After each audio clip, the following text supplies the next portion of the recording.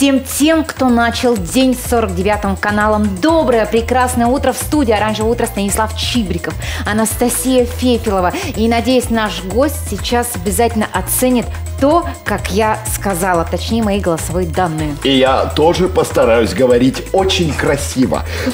Марина Шеливер у нас в гостях. Здравствуйте, доброе День голоса! Здравствуйте, дорогие друзья, дорогие ведущие. Марина Шеливер, профессор, преподаватель сценической речи Новосибирского государственного театрального института, член Российской общественной академии голоса. Опыт преподавания сценической речи и актерского мастерства около 36 лет. Как, Как мы голос, годимся? Вот я говорю, дорогие, да, дорогие ведущие, для утреннего звучания вполне прилично. Фух. А для вечернего как бы уже... не устра- Для утреннего вещания. Где собака зарыта? Что, Что значит для утреннего звучания? Когда мы просыпаемся, наш голос просыпается не вместе с нами, а чуточку позже. Поэтому э, то, как вы пытаетесь артикулировать, или мы говорим речевики, построить свой рупор для того, чтобы чуть-чуть усилить звучание. Рупор. Рупор, рупор. Так. А, Это очень хорошо. Вы пытаетесь губами помочь а, звуку лететь вперед.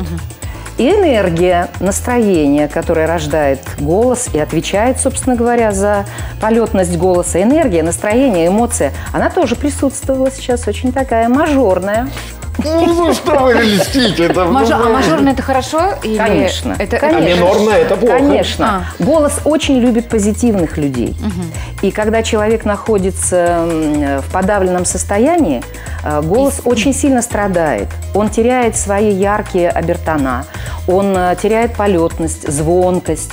Ну, становится тусклым и невыносливым, кстати говоря. Давайте разбираться, давайте разбираться. Тема очень интересная, даже этому посвящен целый день, День голоса. Вообще знаете, откуда вот этот праздник пошел, День голоса? А, Кто его придумал?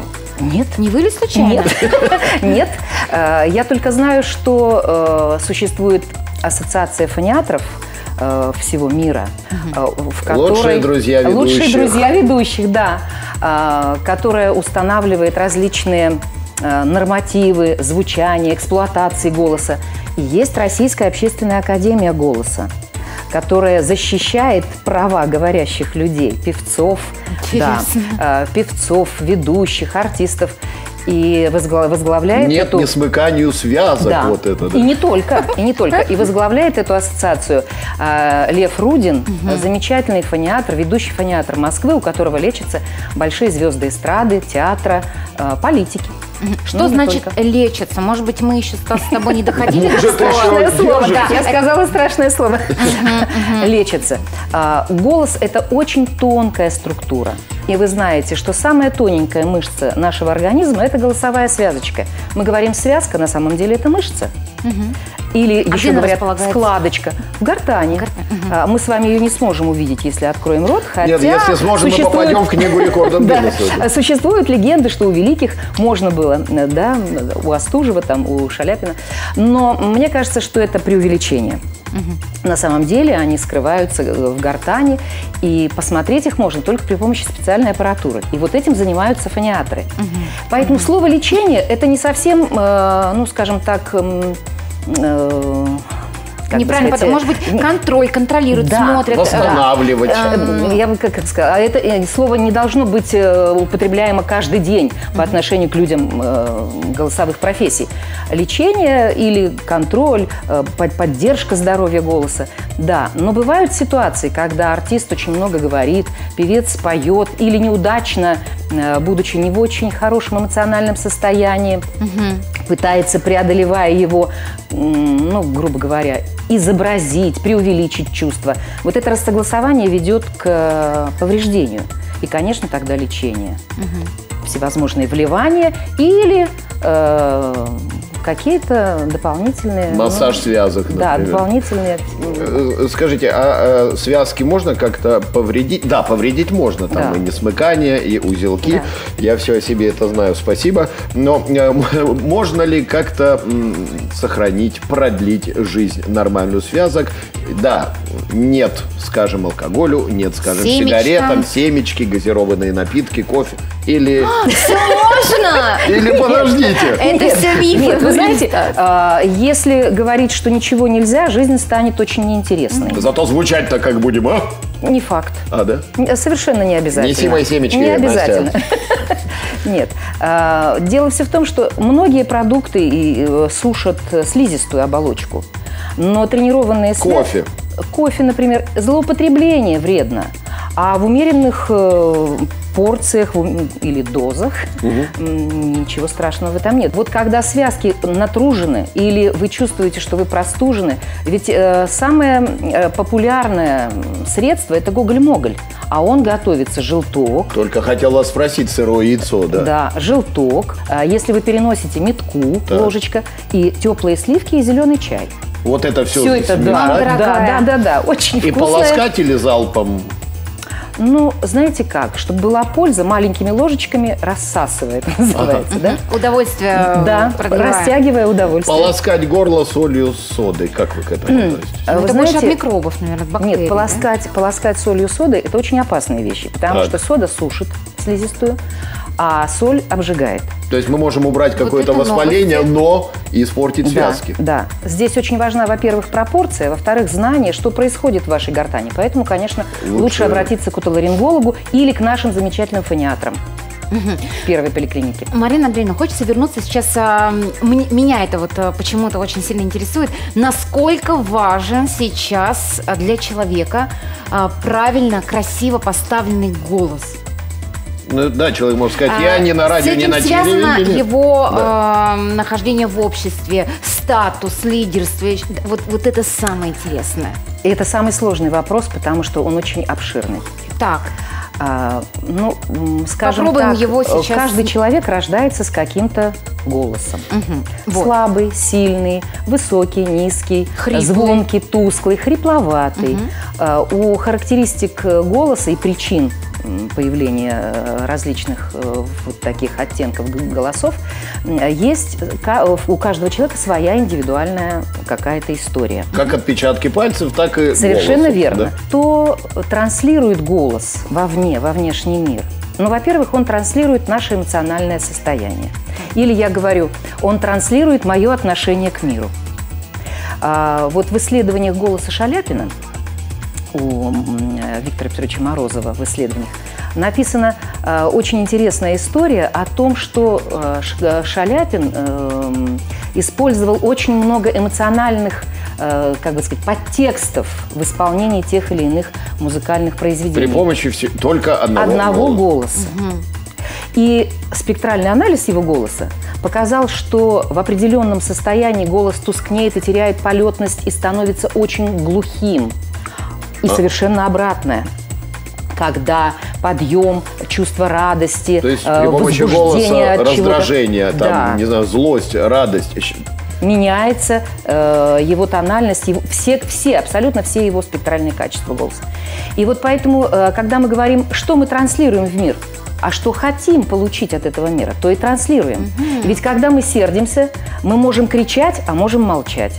Мы можем, э, э, не желая говорить, сдерживать да, звучание и сдавливать желание сказать. Подавляем Особенно желание страшно, сказать. когда человек в ярости и тихо говорит. а что лучше, да, лучше не сдерживать, да, вы советуете, Марина Андреевна? А, Я советую адекватно выражать свои эмоции и адекватно Потрясающе. относиться к миру, потому что не всегда гнев достоин того, чтобы выразить его словами. Вы знаете, Друзья, что мы предлагаем прерваться буквально на небольшой информационный блок. Обязательно вернемся. Еще много вопросов у нас к нашему сегодняшнему спикеру, поэтому не переключайтесь. зазвучим. Друзья, если вы до сих пор еще не знаете, что такое фитнес для голоса, то мы советуем присоединиться к нам в студию «Оранжевое утро». А, По-прежнему Станислав Чибриков, Анастасия Фефилова и Марина Андреевна Шельвер. Прокачаем свои мышцы, так как все-таки мы теперь знаем, что э, наши связки это мышцы, и как любую мышцу, соответственно, ее можно и нужно тренировать, э, поддерживать в форме, развивать, как быть э, с этими маленькими мышцами. И кому нужно вот, вот нам со Стасом и всем-всем-всем необходимо да, делать? Я думаю, что всем-всем-всем. Человек может же сказать, «Э, я же не работаю зачем там на радио, на Да, телевидении, да, зачем да. мне? Ну, Я голос же и не медийная голос. личность. Нет, но точно так же, как когда вы здороваетесь и протягиваете руку, хотя теперь вот с этими карантинами неизвестно, как это Лучше делать. не надо. Но когда вы протягиваете руку, вы же думаете о том, какая она, чистая, мягкая, Да. э, шершавая или еще какая-то. Точно так же и голос. Он касается нашего слуха и попадает это ощущение, это впечатление через ухо в кору головного мозга. То есть человек, как только вы сказали «здравствуйте», он может не дифференцировать э, э, спектрального анализа, он не успеет сделать и не сможет. Но он, воспринимая ваш голос, воспринимает вас определенным образом. Вы сказали «здравствуйте» хрипло, человек уже сфор- сформировал о вас какую-то картину. Вы больны? А. Вас спросят, вы больны? Ну да, да. Э, Гуляла Или по- всю ночь? Да, или подумают, вы не спали, или что такое. Очень много информации выдает наш голос о нас. Он выдает информацию ведь не только э, звук голоса, озвучивает, э, озвучивает какие-то слова э, как результат наших мыслей. Скромность человека можно распознать сразу по «добрый день», по «здравствуйте», по одному слову? Скромность? Тоже? Ну, ну, скромность, стеснительность. Ну, я думаю, что не только по слову, по голосу, а по совокупности А, всех проявлений. Это и жест, это и взгляд. Э, Мы же улавливаем более 300 ми- микроскопических движений мышц лица. Зарядка, да. Наши мышцы с утра, чтобы проснуться, в общем, весь организм требует как-то, чтобы забегала кровь по венам, чтобы Взбодрился. взбодриться. Голос не исключение. С утра мы, ну чего уж греха таить, не звучим. Я готова. Но при этом вы знаете, что вы с утра уже делаете массаж э, тех мышц, которые отвечают за формирование э, некоторых голосовых окрасов. Зеваю. Зеваете. А, да вы что? Зеваете, вы полощете рот. Пьем Так. воду. Да, вот а. А, Вы полощете рот, раскрывая внутриглоточное пространство, там формируется сила звука, его округлость. Ты Так. орешь на кота. Да. И- А, да. Его, его округлость, значит, а, обертональность украшается за счет вот движения этих мышц. Затем вы чистите зубы, вы что делаете щеточкой? Вибри- по, по вибрация деснам. проводим. А по деснам? Ну, это если у вас электрическая щеточка, то вибрация. Это тоже, кстати говоря, очень полезно и хорошо. Вы Щекотим. да, вы по, щеки, Массажируем. щеки, конечно, с обратной стороны массируются. А щеки очень важный элемент. Безусловно. Потому что, когда мы формируем звук, он рождается на связках, а выходит сюда вперед, и благодаря щекам работают наши губы. Да? А, так вот, утром, когда мы с вами просыпаемся, почистили зубы, прополоскали рот, первое, что мы можем сделать для голоса, это не только зевнуть, а открыть рот и посмотреть свой зев. Какой он прекрасный, какой он красивый. В да, зеркало. Ой, посмотрите, я сказала. сейчас, да. Посмотреть свой зев. И вы начинаете зевать. Небная занавеска работает. Идет очень мощный кровоток, э, как массаж э, всей слизистой оболочки и выстилающей гортань м, Кровь ткани. притекает, да? Конечно. Мгм. Связочки массируются этим кровотоком и становятся более эластичными. Они ведь э, тоненькие звуки, высокие, толстенькие, низкие звуки различная степень смыкания вот этих маленьких тоненьких ниточек. Поэтому, когда мы зеваем, массируется гортань. Когда мы вытягиваем язык вперед, например, к подбородку, да, массируется гортань. А если мы еще и вытянем к подбородку язык и скажем, например, ага, Ага. да, то мы услышим, что наш Наш Мы звук, да, вот. звук нашего голоса перестал уходить в нос. То есть, если мы открыли рот на самом деле, ага, а не ага, не как попало. да, не да. как попало. Зубы же тоже чистить надо не как попало. Поэтому э, вот эти движения языком вниз, вверх, кверху, как слезать варенье, например. А, ага, ага, ага, ага. А, и при этом ага. разговаривая. Ага. Вот А, это ага. слово, которое, Ага. которое считается э, в приличных местах неприлично произносить, ага, просторечие. А здесь как раз оно очень уместно. Ага, ага, Ага. да. И вот Главное, когда едете, ну, заходите в лифт с соседями, не пытайтесь делать эту зарядку, потому что, ага, могут, собственно, неправильно. ну, Это мы, ты ну, мы можем с соседями, фантик. да, мы можем с соседями говорить так, «Мгм, мгм», выводя звук вперед в маску. То есть, а, мы тоже таким образом разминаемся? Разминаем. Ой, я опять зевнула. Да. А, пот- а знаете почему? Потому что мы говорим с Небо. ощущением, да, Я из небо последних сил держу, чтобы не зевнуть. Да. И э, вот корень языка, о котором вы говорили, чтобы его не трогать руками, как это любят логопеды делать. Да. И это не нужно делать самостоятельно, потому что э, можно и повредить, и все. А вот таким образом, когда мы работаем, мы косвенно воздействуем на корень языка. Или вращение языка. Но это же это уже артик- артикуляционный... а, а, Артикуляционная гимнастика. Да, да, да, да. А вы знаете, э, артикуляционная гимнастика вся построена на разогреве мышц, организующих рупор. Рупор – это то, что усиливает звук. Так. Правильно? Да, Поэтому, когда мы разогреваем артикуляционной гимнастикой наш рупор, мы направляем звук сюда и тем самым усиливаем его, э, усиливаем голос. И, в принципе, вот такое упражнение можно даже, не знаю, там в автомобиле по дороге на работу, Конечно. например, никто Конечно. не мешает. Конечно. Нет, ну если стоят работники ГИБДД, и я, ага, мимо еду, тут могут возникнуть ко мне вопросы, конечно. Но Очень так- много шуток на эту тему у артистов есть. А, да? Да. Что все вопросы снимаются сразу. возникает вопрос, откуда Да, у меня. Давайте уже что-нибудь по- посерьезнее перейдем. Да. Что какое прям такое, чтобы сразу голос поставить? Ох, А, Вы знаете, ну, во-первых, нужно помнить о том, что За один день он не ставится. Конечно, конечно. Но э, нужно помнить о том, что хорошее настроение должно присутствовать, если вы хотите разбудить свой голос. Настройтесь. А, во-вторых, вы должны понимать, что голос – это, конечно, работа голосовых связок из центра коры головного, э, головного мозга, центры, да, управляют, но дыхание является веществом звука.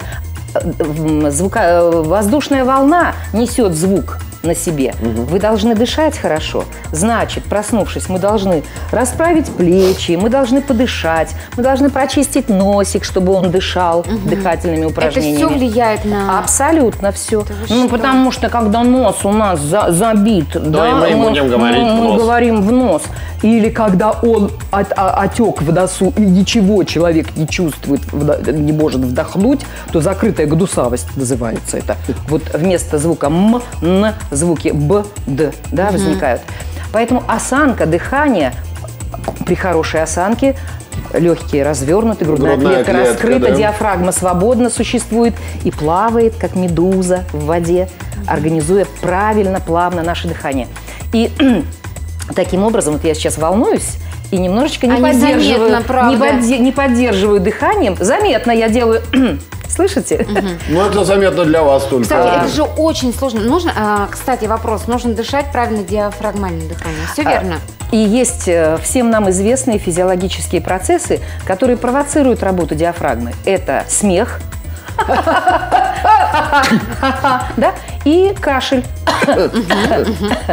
Поэтому для того, чтобы почувствовать, как работают мышцы вдыхателя и выдыхателя, мы можем обратиться вот к этим э, моментам. И чихание, кстати говоря. Всем желаю меньше кашлять, а больше смеяться. В гостях у нас была Марина Андреевна Шеливер. Спасибо вам большое. Спасибо. Спасибо. Звучите хорошо, разминайтесь. Обязательно, друзья. Э, Но мы с Анастасией Я Фефиловой... считаю, что мы отлично отпраздновали День голоса.